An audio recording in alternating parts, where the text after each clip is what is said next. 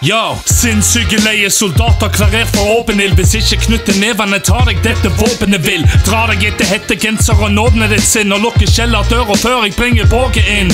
Gjør deg klar, for El Bandito har ikke planer om å stoppe. Bare bas når du blir pop av spesialiserte drapshopper. Steppe inn, jeg kjører fakta, du får nok å provosere så masse at det blir snart blokka av ei fitte kalt torden. Junkies så det holder med å ha så mye dop i årene og opprettholde. Du stripper som ei fitte for at Sam eller spar deg om det. Bitter og så sinte, tror at alle hater på deg. Ingenting å steppe med, så ikke tro jeg ikke ser deg. Du har ikke lagt ut musikk siden den ræva EP-en.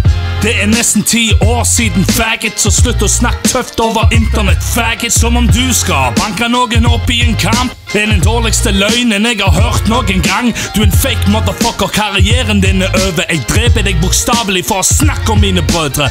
Ødelagt innvendig, for han trenger mer speed. Heroin, sprøyter og et nytt sitt med klær.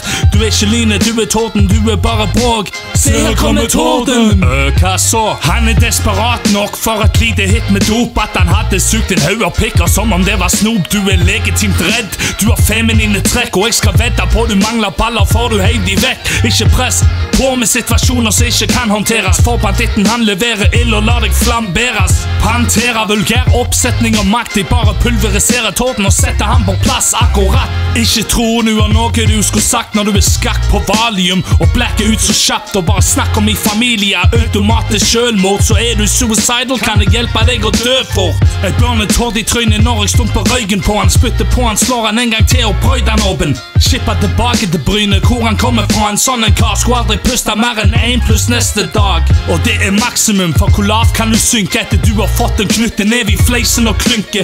Sjøl gode passivister begynte å snakke dritt med et monotomt stemmebruk. Du fucker ikke med mitt. Så sett deg ned, bitch, ikke prøv deg på meg. Du prøvde å jage spøkelser sånn, og spøker det hos deg. Intense greier, paranoia økes før jeg flår deg. Gir deg gåsehud på ekstreme nivåer. Et slag i pannen din, og du har skallebrudd. Jeg presser deg i hjørnet ditt og gir deg tankeskudd.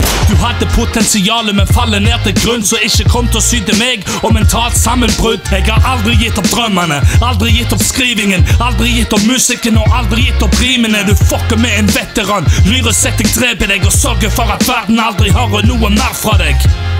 Så kom og si den dritten til trynemetalleren og snakke tøft over Instagram. Faggot. And we say bye bye.